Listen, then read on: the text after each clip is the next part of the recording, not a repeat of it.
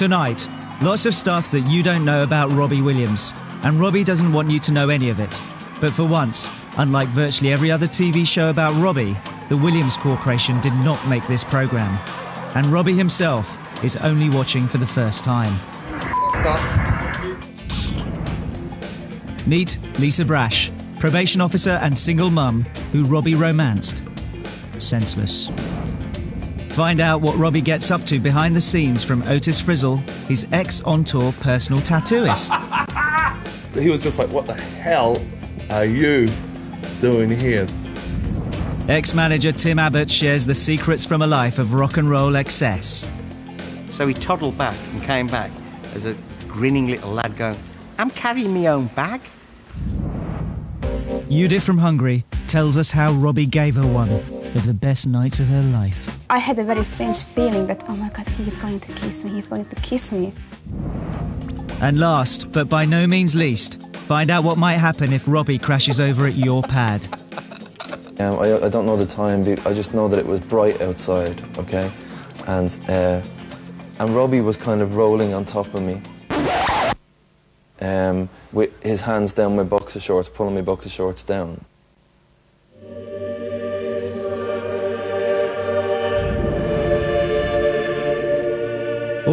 Revealed tonight on Robbie Williams' Secrets.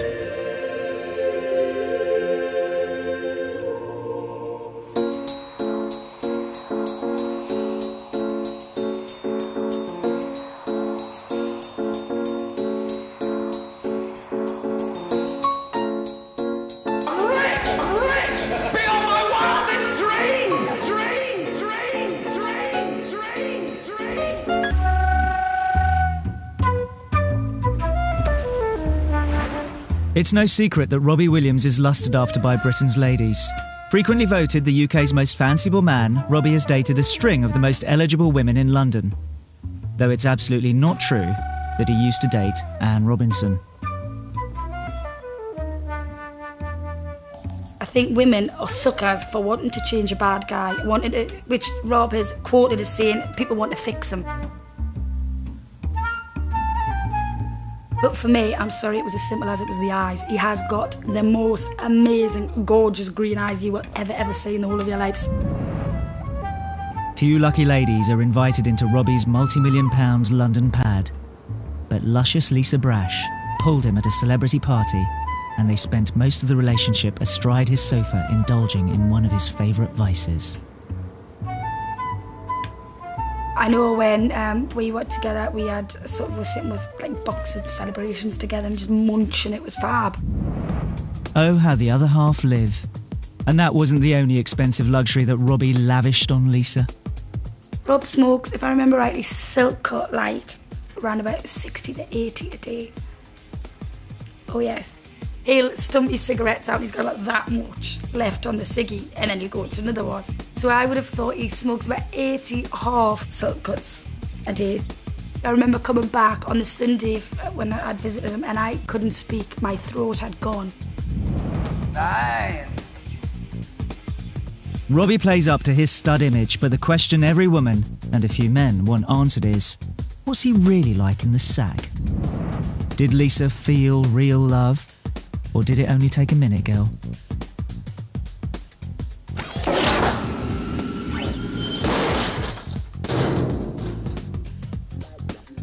Rob's portrayed as this really like sex god, and you know he's, he goes hammering tongs at it all night. Um, and if I'm honest, I don't think any man is. He definitely isn't. This sort of you know, God who's going to go all night. You know, I don't think so anyway. Well, he doesn't go for very long. No, I'm not even going to answer that one. May I always keep my dick in my trousers? Robbie may have had his wicked way with Lisa, but everything comes at a price. And that price was an hour and a half of Patrick Swayze. I bought him um, the Dirty Dancing video because he's never, he hadn't seen Dirty Dancing, and that was one of my favourite films. We watched it together, and it was just like, right here I am sitting on, you know, in Robbie Williams's place, watching this amazing film on this amazing huge screen with Robbie Williams giving me a massage, and I'm like, oh, how lucky am I? It was the beginning of a wonderful relationship. Spoiled slightly when Lisa pointed out the similarity between Robbie and another famous British cheeky chappie who liked a bit of mothering. Don't laugh at me, cause I'm a fool. He hates being compared to Norman Wisdom. My dad said he does a better Norman Wisdom impression than you do. And he just went, I really hate it when people say that because I never try to do a Norman Wisdom impression.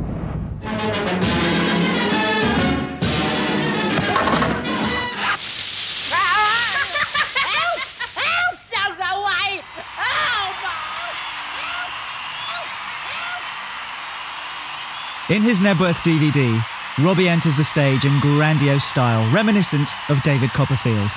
But very quickly, he reverts to his cheeky chappy end of the pier shtick. Mugging and hanning, Robbie's style is classic British slapstick comedy, of which Norman would be very proud. Do you know anything about Robbie Williams? Uh, no, but, but I have heard of him. He's a very good comedian. In his authorised biography, Feel, author Chris Heath recounts the story that Robbie was posted a movie script for his consideration. He opened it and discovered he was being invited to star as Norman Wisdom in a film about Norman's life. Williams was not happy. In fact, he was rather dismayed. So it's not easy being Robbie Williams. It's not great being a Robbie Williams tribute act either. Right now, there are more Robbies working out there in the UK than Elvis Presley acts. But are they truly happy? If there's anything in your own experiences that you can think of, I'm not suggesting being thrown out of a boy band or anything like that, but this kind of sense of rejection and then, you know, proving your own worth um, that adds something to your look-alike persona, if you like. If you can think of anything, we'll um, we'll discuss that. We probe for deep and meaningful insights from our Robbie tribute act later in the show. Coming up, a mystery ex footballer shares Robbie's boozing secrets. Secrets from Robbie's school days. I mean, literally, his head was big. And what did Robbie get up to on his holidays in Dublin? Oh, I'm like this, right? Kind of. There's there's the side of the bed. He's kind of rolling on top of me.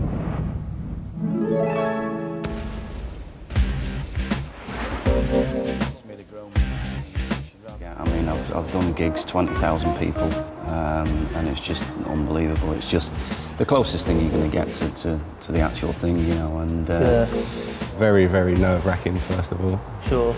It really was. I mean, how did you sort of prepare prepare yourself for that? I was just looking at the latest things that Robbie's wearing, Yeah. um, his hairstyles and things, just to catch up on all the latest things with him.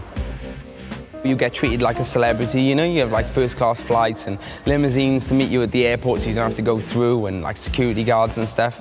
You can get like girls grabbing at your clothes and stuff. It's, you know, it's a completely different world. It's something, you know, something that has to be experienced. Huh? Yeah.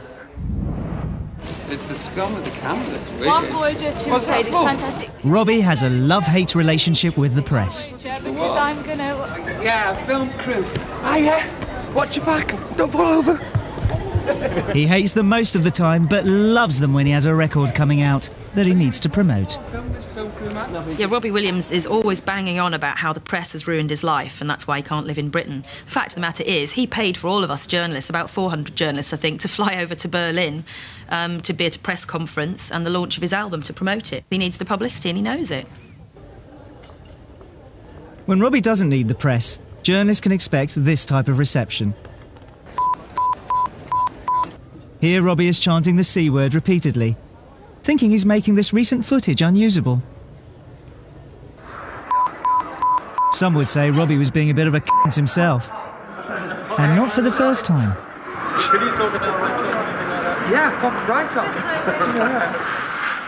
He recently invited, you know, some really major music um, critics who had written about him previously. And once they're in the room, they thought they were there for a nice jolly to sort of listen to the album. And he cornered each one individually and went, "You wrote this, you wrote that." There was only uh, five critics there from the sort of main broadsheets in this country when in walks Robbie Williams. uh, bearing a sheaf of reviews. It was quite obvious what, what, what he was holding, and everyone's sort of looking at it rather nervously, thinking, what have I said about Robbie Williams? It's just the social embarrassment of being confronted with your own uh, snideness. And um, he held up the cover of Time Out, which had a picture of him, and it said something like, you know, is this the best you can do? and he said, did I not like that? Uh, at which the, the Time uh, Out journalist started sort of spluttering and making excuses, quite legitimate excuses actually, which was that he didn't write the headline and he didn't even write the article in question. It's a fairly bold thing to do and probably a fairly stupid thing to do because we always get the last laugh. This is a man who cannot stop reading about himself. He's even admitted that he sits at home at night in LA on the, on the internet, Googling his own name, Google News, Robbie Williams, so he can see what's written about him.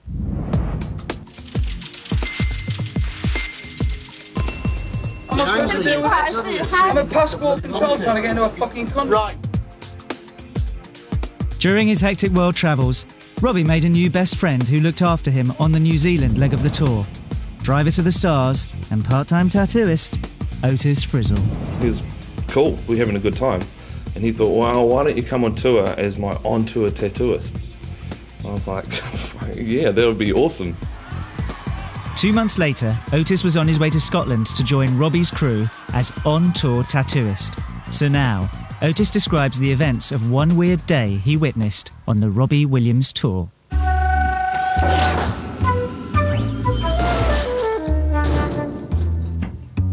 Robbie never got up till three. He'd get up and then um, have a massage, I think, like a proper one, like you know, an actual massage, and then um, he'd have lunch, and then he'd have a nap, and then he'd go to sound check, and then he'd have like um, feeding time, I think the, the band like to call it. When some more masseuses came in, who I don't really think gave him a real massage, but you know, I wasn't in the room, so maybe they did. They looked far too pretty to give proper massages. It was a bit like feeding time. It's like no one talk to, no one knock on Robbie's door for the next 30 seconds, or you know, half an hour or whatever, because it's it's feeding time. After the gig, Robbie didn't hang around for long with the rest of the tour party. He would retire before everyone else, generally. Sometimes, you know, with a, some friends, some, some local friends that someone had met along the way. Caught up in the mayhem of the tour, Otis began to feel frustrated that he couldn't do his job.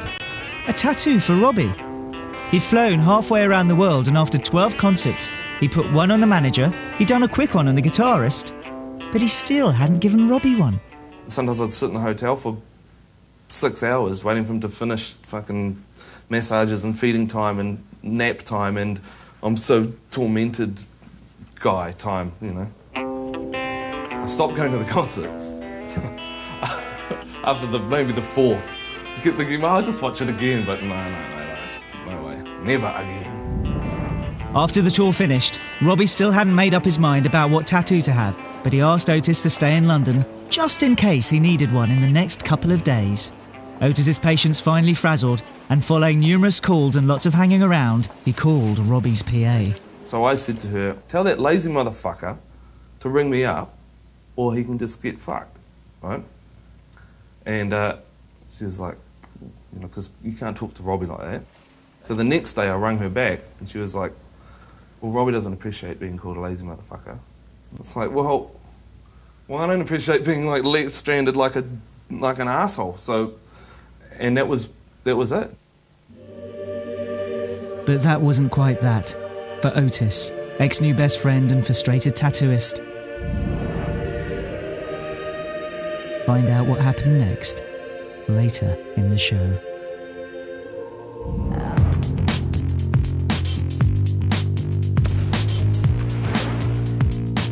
This is Giuseppe Romano, one of Robbie's gang at school back in Stoke in the 80s.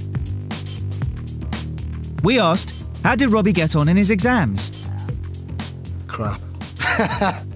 That's not what it says in the Take That book. On page 31, he claims that he passed eight or nine GCSEs. But only three pages later, Robbie says that he joined Take That because at school he'd got no qualifications. So there appears to be a glaring inconsistency in the official history of Take That. You don't need any qualifications to be Britain's biggest pop star, and just as well, because Robbie doesn't have any. He flunked all his exams and has no qualifications. Somehow, this crept under the radar of the book's author, respected journalist, and everybody's favourite, Piers Morgan. We asked, what was Robbie's nickname at school? We generally called him Will Woggs. Surname Williams and just put Woggs on the end. But then there was Fatsikins because he was fat. Swellhead because his head was out of proportion with his body. I mean, literally, his head was big. After failing all his exams and with a couple of theatrical performances under his belt, Robbie landed his first job. Here in Smoky Stokey, selling windows. And he says he's depressed now. I'm rich beyond my wildest dreams. What more? Do you know what I mean? I've got a good album. If some people buy it, then great. And if some people don't, then great too, because I might have to be forced to go and do something that I really want to do. Do you know what I mean? So, Yeah, we know what you mean. If he really hates his job, there's always a vacancy back at Stay Bright Windows.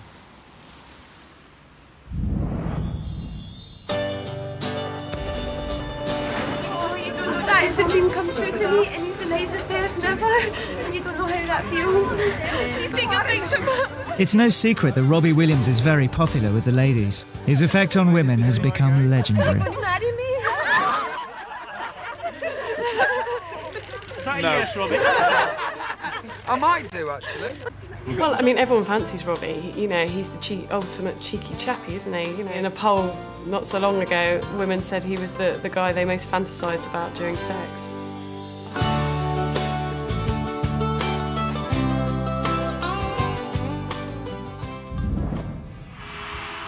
But it's when he takes to the stage that Robbie's pulling power is at its greatest. Here in his Knebworth DVD, Robbie is cozying up with one of his adoring fans.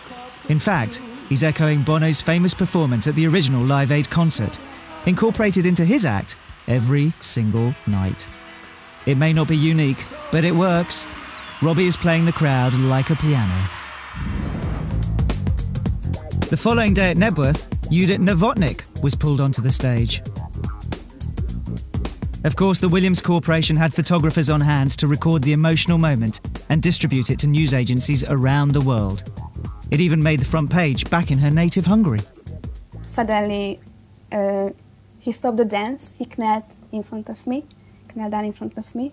He held my hand and he sang the song to my eyes. And I had a very strange feeling that, oh my God, he's going to kiss me, he's going to kiss me. And I was so, so nervous because um, I have a very big secret. I don't know, can I tell you or not? I'll take care of it. So well trained, so animal. So need your. In this clip, you can clearly see that it's just another day at the office for Robbie, who does exactly the same routine as the previous night. But he could never have imagined what a big moment it was for Judith. If only he'd have known her secret.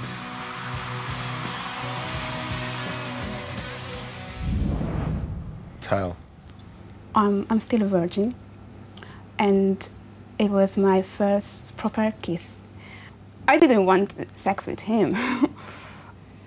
I felt that I'm, I really loved him. So I was in love with him in this moment. Sadly, when they met just days later, Robbie had no idea who Judith was.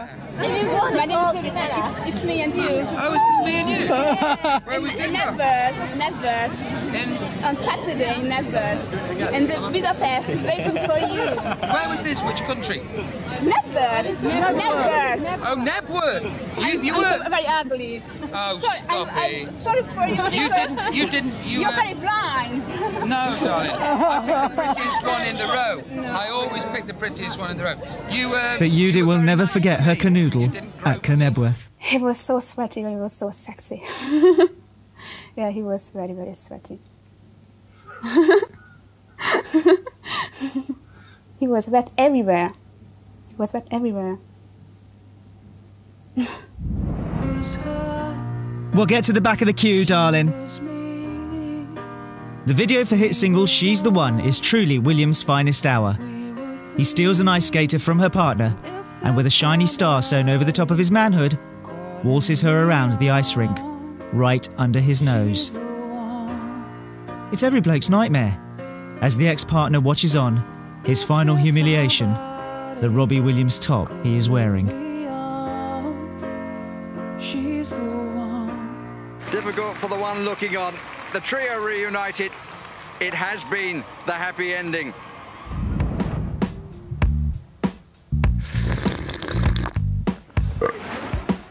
Famously, Robbie spent a couple of years out on the lash after he'd left Take That. During those booze addled days, football hardman Neil Razor Ruddock had more than a few in Robbie's company. Now he shares the secrets. Then we go out all night, go to bed at six o'clock in the morning, get up at 10 o'clock in the morning. And then and Robbie come out with the idea is when we wake up, we buy a bottle of peach schnapps at a bed. So when we wake up, we'll have a half pint of peach schnapps, we'll drink that in one, and then get us back into into full recovery. So that, that's what we did. That was a Robbie Williams idea, which which I haven't done since. Yeah, yeah. Short, so short. Yeah, yeah. They were great days. The little gang we had at the time was uh, Jamie Redknapp, Robbie Fowler, John Scales, myself, David James, Jason McAteer, Phil Babb. We was known for our partying spirit, and we was, uh, I think, the papers nicknamed us the, the Spice Boys.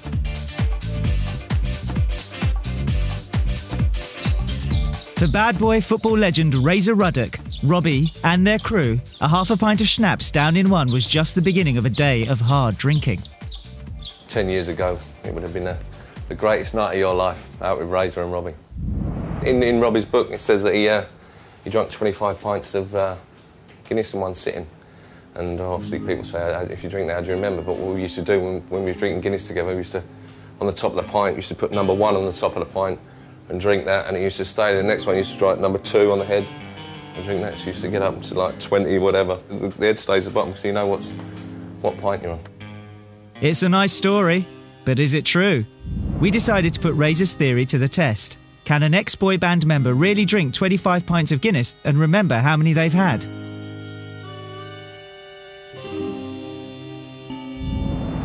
Meet Matt Johnson, formerly of One True Voice. He agreed to be Robbie in our 25 pints of Guinness reconstruction. Knebworth, I love you. Find out how he gets on later in the show. I was her, she was me. We were young, we were free. And if there's somebody calling me on, she's the one. Though the sea will be strong, I know we'll carry on. If there's somebody calling me on, she's the one. We vow no more singing from our lookalikes.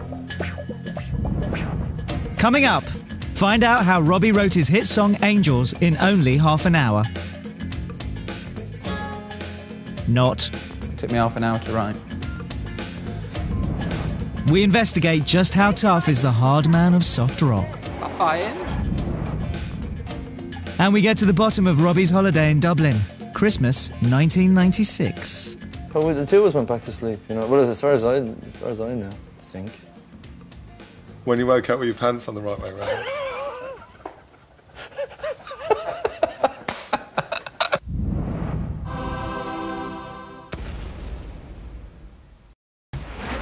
What about you? Do you sort of take on the the, the Robbie the Robbie Williams personality? I I do try, yeah. I do try, yeah.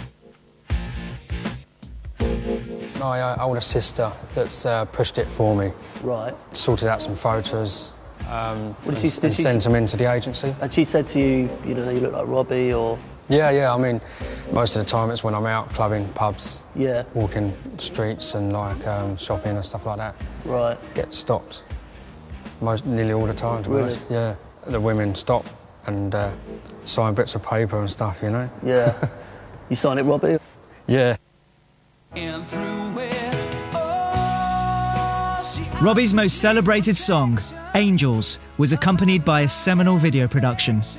The record company spared no expense, trotting out every promo trick in the book. There's cool Robbie, doing football tricks in a gritty urban landscape. Lonely Robbie, walking round a beach crop circle. Stud Robbie, with a model on the back of his bike. Until finally Robbie's chopper makes an entrance. Following him in his pain down a one way beach. The video is uber cool, but when you think about it, makes absolutely no sense at all. But then neither does the song.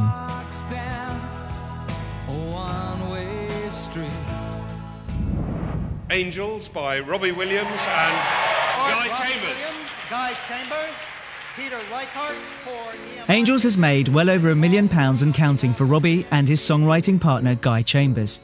It was the cornerstone of Williams' solo career and went on to be one of the great rock anthems of all time. Here, Robbie and Guy are taking the credit, accepting an Ivor Novello Award, Britain's most prestigious songwriting gong. But there's another musician who thinks he should have been up on the stage with them.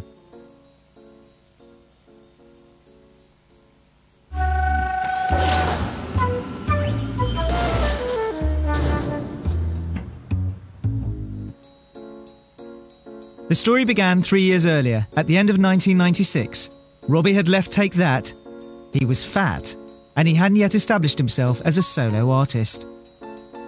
Or learned to play the guitar. He hadn't even started working with his songwriting partner, Guy Chambers. But on holiday in Dublin over Christmas, Robbie met someone who could play the guitar struggling songwriter Ray Heffernan. I was in a pub one Saturday afternoon when Robbie Williams walked in, and he walked over to us. We had a few pints, and then we got drunk. And he asked me, you know, did I know anyone who could get some coke? And I did. And we went out and we went a bit mental. This was the start of a massive bender around Dublin, which went on for two weeks. Robbie hung out with Ray in his house and met his family. He ended up coming to stay in my place until about six o'clock in the morning. We were trying to write some songs, um, and then I said, "Well, look, try this idea. I have this song half written um, about uh, about angels," and I showed him what I had, um, and we liked it, or he liked that idea. And the next day, or the next in the next couple a couple of days, he rang Louis Walsh to get a studio in Dublin. We went in, recorded a version. After the recording, Ray went round Dublin announcing he had a new partnership with Robbie Williams. Robbie, meanwhile, left Dublin and stopped answering Ray's calls. Six months later, Ray heard that Robbie had an album coming out with a song called Angels on it, credited as written by Robbie Williams and Guy Chambers. Ray got in touch with Robbie's manager asking for an explanation. They told us that it was completely changed and the idea had, had complete, like any of my input had been taken out of it. So we, I sent them over the, the, uh, the copy that we had made in the studio and they said they'd send us over a copy of the new one, but they just sent a copy of my version back. Management told him that the song's words were Robbie's and the music to Angels instead had been substantially reworked. Ray took £7,500 as a final settlement. And it was either do this, sign this, or let's go to court. And I wasn't in a position at the time to, to kind of take on Robbie Williams and the might of uh, the, the Williams Corporation uh, in a courtroom. So I took the money. They offered me two and a half grand for the song, and then, uh, and then they, they put it up to seven and a half grand. So Ray earned only a small fraction of the million plus that Guy and Robbie trousered from their version of Ray's song.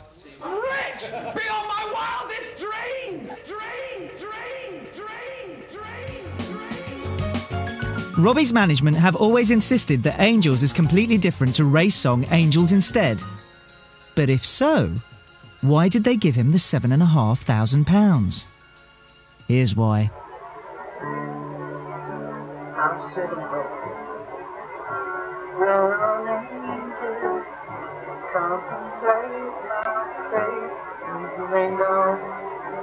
Places where we go.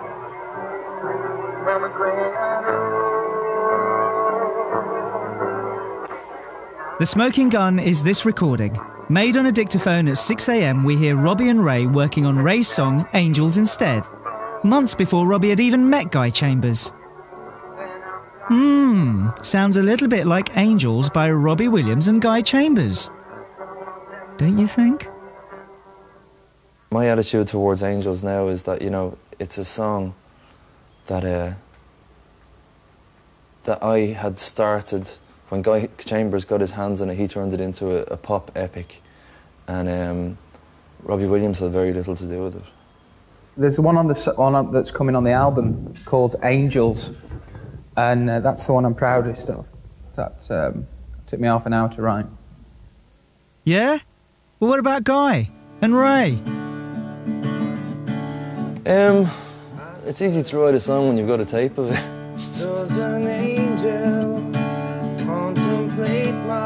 My fate? Or oh, do they know the places In the cosy setting of this promotional interview, Robbie doesn't appear to have a clue what Angels, his biggest song, is about. What inspired that? Angels. Yeah. You're quite a religious person then. No, no, no. I, it's, it's a different. It's a, di- it's a difficult kettle of fish hmm. to actually talk about. You start talking, you start talking about angels or, or dead people. People think you're weird, w- w- loopy, but I'm not loopy. I'm a folks. You all speak to dead people all the time, don't you? I understand. Or do they know So, what is Angels all about? Pointless asking Robbie. What does Ray think? Like in June 1996, I was living in Paris with my girlfriend. Um, she got pregnant, and we were kind of dealing with that. Um, but then three months later, she lost the baby. Now, there's an expression, in, there's an Irish expression that says if a baby is stillborn, um, he, the baby was born an angel. So this was on my mind, and I was ringing my mother to tell her to tell her this. Um, and the first recollection I have of the lyric uh, uh, "Loving Angels" instead was calling my mother to say, "Look, I want to have a baby to love, so I'll love an angel instead." This year, I've uh, proved them right. I've just buckled down and and you know, I wrote the I wrote the album in seven days. I, I dream a lot of stuff as well.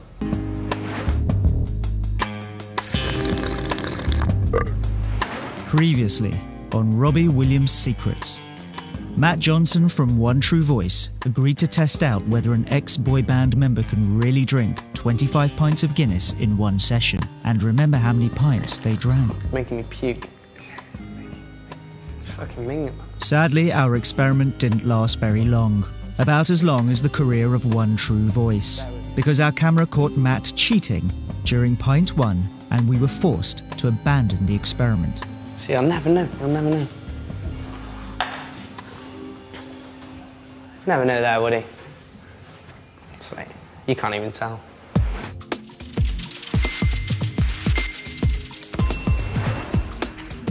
Tim Abbott was Robbie's manager after he left Take That.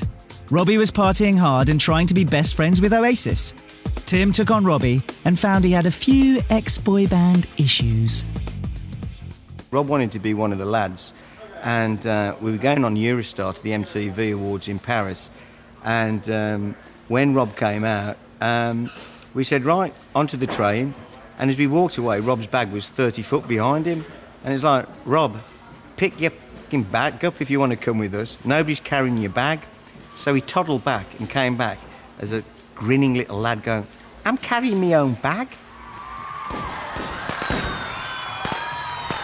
Robbie was trying to rebrand himself from fey boy band star into tough nut rock and roller. Not always successfully. So he went up to his hotel room, and um, kind of trashed the room, but in a kind of designer way, you know, a snap tulip and a kind of leg off a stool. We thought we were going to work with the next George Michael. I genuinely believe that.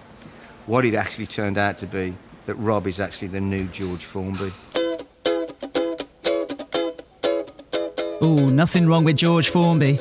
George was the Robbie Williams of his day, with hit records and crowds of female admirers. Today, his legacy lives on through Nick Formby, no relation, who is releasing his own version of Angels. And you know you've written an anthem for a generation when it gets this kind of treatment. I sit and wait. There's an angel, contemplate my faith.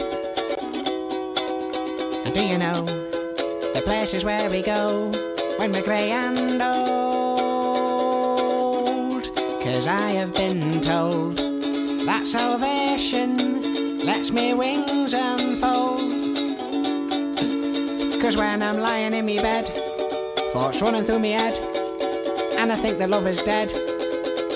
I'm loving angels instead. I couldn't see him uh, punching his way out of a paper bag, really.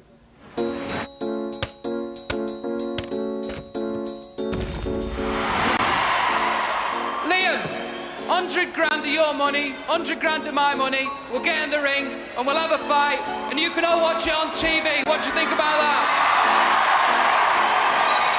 A genuine offer of combat? Judge for yourselves. I can't see Rob uh, being in a fight. Over what? Who's going to wear the leather chaps in Take That? In his authorised biography and Gushfest, Feel, author Chris Heath recalls some of Robbie's tough guy antics. For a while, before he had live-in security, he used to sleep with a hammer next to him. He also used to sleep with a starting gun and a can of Lynx and a lighter. Makeshift flamethrowers have got him out of scrapes before. Once, when some blokes threatened to beat up the famous Robbie Williams on the forecourt of a Stoke-on-Trent garage, he got them to back off by holding his lighter to the nozzle of his lighter fluid and threatening to light it.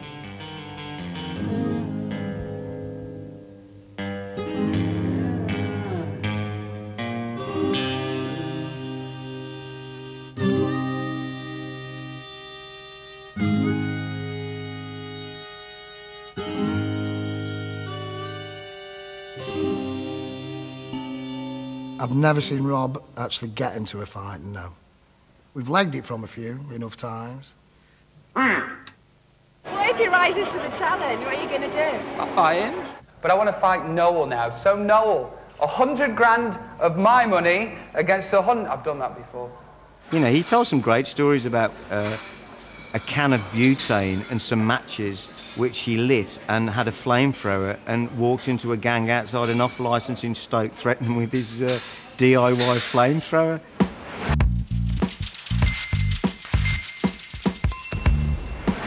Otis Frizzell, Robbie's ex-official on-tour tattooist, thought he'd seen the last of Robbie when the tour frizzled out. But completely by chance, their paths crossed a year later in Hollywood. So I go to this exclusive spot where I, someone like me should never be. I'm just not famous or amazing enough. And my friend uh, um, comes up to me and is like, Otis, go out to the balcony. Go out to the balcony. And I walk out on the balcony, and who should be standing there but Robbie Williams with, with no big monkeys, SAS security guys, and no management and no PA. Just a horrible sort of plastic breasted Hollywood bimbo. And I just went up to him and said, Hey Robbie, how you doing, bro?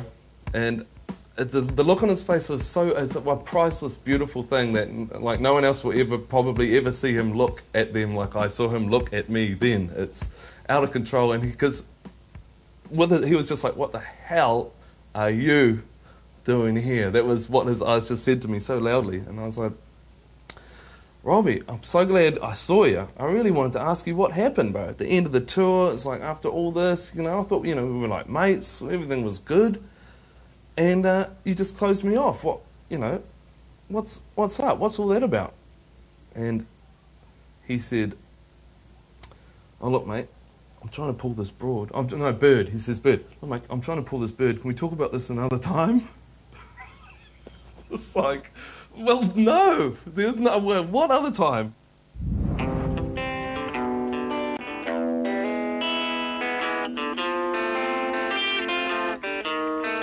And what's the what's the best thing about it? And what's the kind of best things and the worst things? Well, the best things are the girls. Yeah. Uh, the worst, the worst things are, uh, well, you know, just sometimes it can be a bit too much because you go to a gig and just everybody's on you and, you know, and people recognise you on the street. You know, you go down South Southall High Street and everybody's like, you know, you're the Asian Robbie Williams and you just want to have a quiet afternoon, you know. Yeah. Feel like a bit of a caged animal at times. Coming up, at last, we find out what on earth Ray is talking about. You, like you've slept in, in a bed with one of your mates. You know what I mean? It's it's just one of those one of those things you do when you're drunk or whatever, and or not.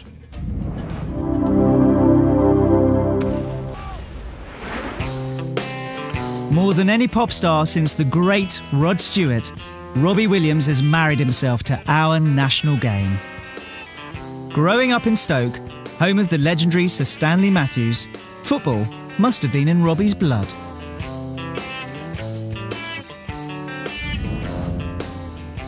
The artwork for his album, Sing When You're Winning, identifies Robbie as a football superhero, with his RW logo as a badge.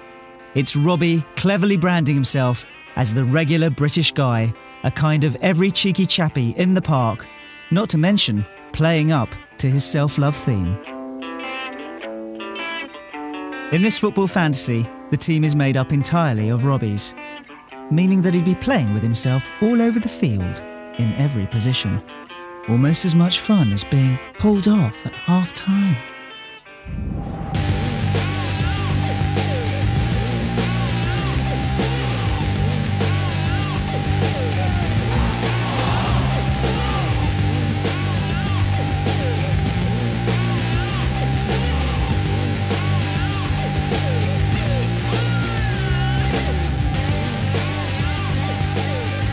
Robert's school for football was shit.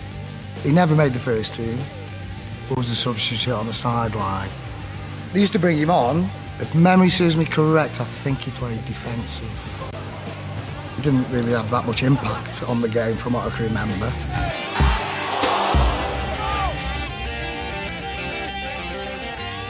But yeah, it was pretty crap.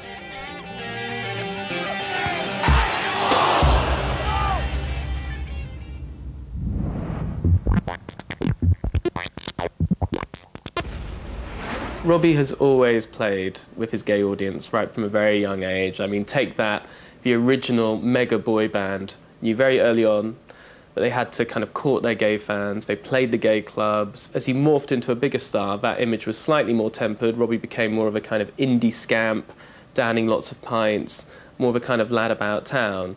But he always just seemed to fall slightly at a variant to the mainstream pop star. There was always something added to him and there always seemed to be a number of women sort of always around him. So, you know, he never got married. There was always something slightly shifty about it. And so people talked, people gossiped. You know, was he or wasn't he? And even with some current songs of his, I mean, he plays with a gay thing. There was a song last year, I was making some notes on the way here. I'll be your gay friend, cause your marriage never ends. Till we fuck and fight again, there's a space between us. Hmm, what can he be talking about? Dunno. But let's find out what Ray's been talking about. In his authorised biography, Feel, Robbie recalls his time with Ray. Needless to say, he and Ray have different memories. Rob takes loads of E and drinks loads of Guinness, and so does Raymond. Sometimes they stay at Rob's rented house. Sometimes they stagger out of town to Raymond's parents' council house on a, on a council estate and sleep in the attic on a mattress on the floor. We lived on Griffith Avenue, which is one of the plushest places in Dublin. My mother was very disappointed when she read council estate. Yes, there was a mattress on the floor, but it was a kind of a, a cool Parisienne mattress on the floor. It was on Ray's cool Parisienne mattress that things came to a head. Back in 96. Viewers of a delicate disposition may wish to cover their ears for a moment. Our gay viewers might consider turning the TV up. We, we, we had shared a bed on, on numerous occasions because we'd kind of fallen in the same bed together and stuff like that. Uh, and yeah, but about six, well, I don't know. I, I said I say around six a.m. I, I don't know the time. I just know that it was bright outside. Okay, and uh, and Robbie was kind of rolling on top of me, um, with his hands down my boxer shorts, pulling my boxer shorts down. Right, and I was kind of pinned down. I didn't know what to do. I thought he was doing this in his sleep. Oh, I'm like this, right? Kind of. There's there's the side of the bed. He's kind of rolling on top of me with his hands pulling my boxer shorts down, um, and I kind of shoved him off me and kind of went, Rob! And, uh, and he gone, oh, for fuck's sake, and stuff, and, uh, and then rolled over and stuff and mumbled a bit. Um, and I just thought he was asleep and let it go. It was only two days later, we were, we were out for a beer, and we, we were talking to this guy, and I said, we were talking about affection between males, males and physical affection between males. And um, I, I said, yeah, it was like the other night, Rob. You probably don't remember, but you, uh, uh, you woke up, or I woke up and you were on top of me. You know, you were trying to shag me and stuff. You know what I mean? In your sleep. And he kind of went, yeah, yeah, yeah, yeah, but anyway, um, and I realised, oh, okay. While this sleepy fumble is certainly not gay sex and is hardly evidence that Robbie was gay, the issue of his sexuality has now been put to bed. If you're a tabloid reader, you will have seen Robbie Williams over the years be on the arm of a whole number of women. But finally, last year, the Robbie Williams camp really did move very definitively to quash any rumours that he was gay. Um, a tabloid uh, was sued by the Williams camp for suggesting he had had secret homosexual affairs. Robbie Williams won that case, and his counsel said very, very deliberately and very, very clearly in court Mr. Williams is not, has never been, a homosexual. Now, you don't get much more definitive than that, and that is the word from the Robbie Williams camp. Elvis, grant me the serenity to accept the things I cannot change. Uh huh. The courage to change the things I can. Uh huh. And the wisdom to know the difference. Thank you very much. This is interesting. Oh, the life of Robbie Williams. Ah, I am rich beyond my wildest dreams. Ta-da!